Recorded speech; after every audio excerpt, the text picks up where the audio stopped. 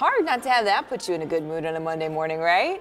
Well, this week in Communities That KARE, it is the final curtain call for a chorus that's raised hundreds of thousands of dollars for Minnesota nonprofits. VocalPoint Chorus just ended its nearly two decade run over the weekend. It was a long run for sure. This morning, the chorus's artistic director is reflecting on their amazing performances and the community camaraderie.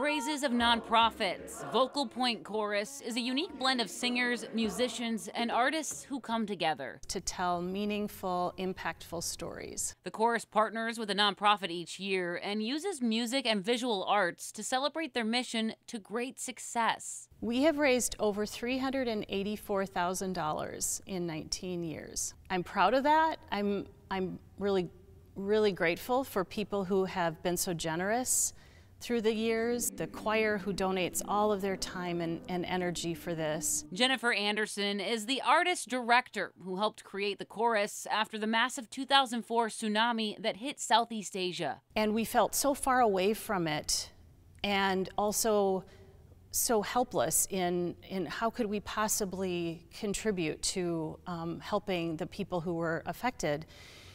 And somebody said, well, you know, we like to sing. We, we, we could sing. And we thought, well, okay, I, I guess we can. That concert raised just shy of $15,000. After that first year, we decided to make it an annual event. And over the years, many nonprofits benefited. From the Lift Garage in the Twin Cities. Anybody ever seen a baby carrot? To Urban Roots this year. I'm thrilled that it's our, our final one. Um, I love what they do. I love that young people are are learning how to grow things and getting their hands in the dirt and they're learning about the importance of patience and of, of tending to something. I feel like we have tried to do that for our 19 years and those are just good life lessons for all of us to know and and learn from. And now comes Anderson's final bow. After 19 seasons, it felt like the time had come to say, well done. We've had over 400 singers sing through the years,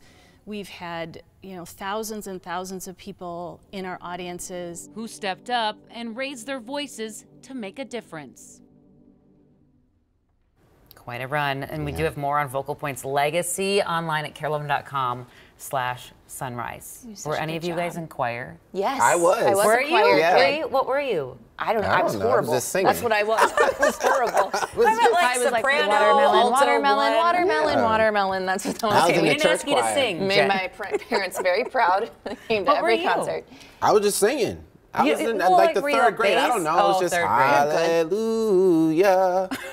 I was just singing. I love how you're both doing like your vocal warm ups. She's like, All I right, let's talk ask about for real.